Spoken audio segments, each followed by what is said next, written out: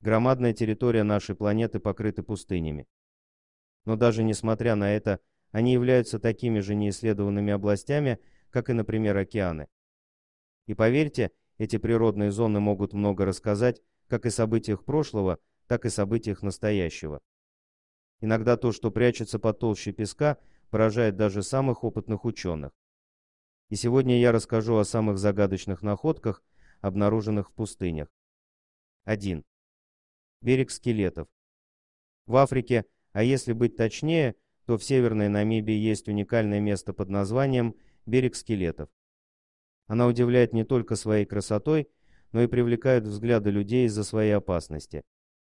Свое название парк получил не случайно. Оно связано с большим количеством кораблекрушений, произошедших в этой самой местности. Здесь постоянно густой туман, течение все время меняется.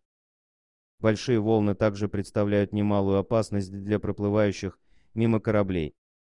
И возникает такой вопрос, почему мореплаватели вообще сюда плывут, если знают о предстоящих опасностях? Ответ достаточно прост.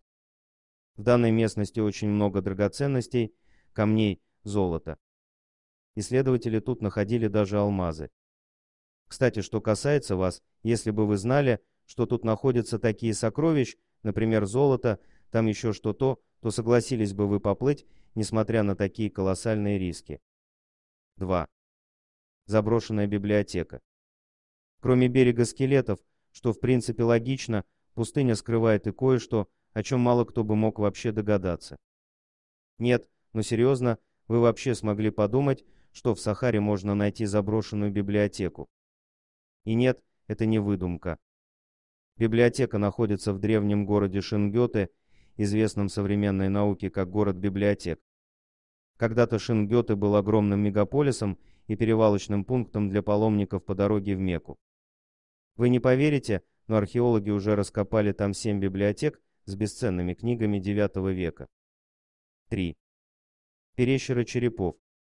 А в 2018 году исследователи обнаружили странную пещеру захоронения. Она располагалась гуще тропического леса Габон. Это Элла. Действительно много черепов людей, их скелеты, зубы животных, какие-то артефакты и многое-многое другое.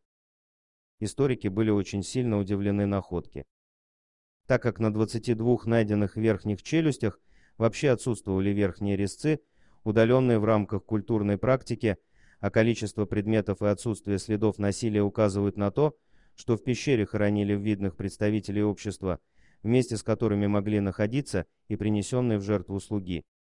Дорогие друзья, если вам понравилось видео, поставьте лайк, а также подписывайтесь на канал, где найдете еще много интересного.